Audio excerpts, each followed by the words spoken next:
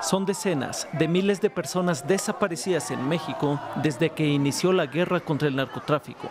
Así lo aseguró el gobierno al anunciar la creación de un instituto forense que trabajará con grupos internacionales. Se estima que actualmente existen 40 mil personas desaparecidas, más de 1.100 fosas clandestinas, alrededor de 26 mil cuerpos sin identificar en los servicios forenses, y eso da cuenta de la magnitud de la crisis humanitaria y de violación a los derechos humanos que estamos enfrentando y que debemos superar en nuestro país. El presidente Andrés Manuel López Obrador anunció el nuevo Instituto Forense, conocido como el Sistema Nacional de Búsqueda, y que comenzará a operar en marzo.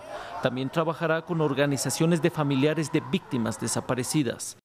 Las familias saludamos el compromiso del gobierno federal para la búsqueda de personas desaparecidas. Este es un paso para encontrar verdad y justicia. El gobierno prestará especial atención a los migrantes, que representan alrededor del 8 al 10% de los desaparecidos, y dedicará recursos adicionales a las zonas de ingreso principales, como los estados de Oaxaca y Chiapas.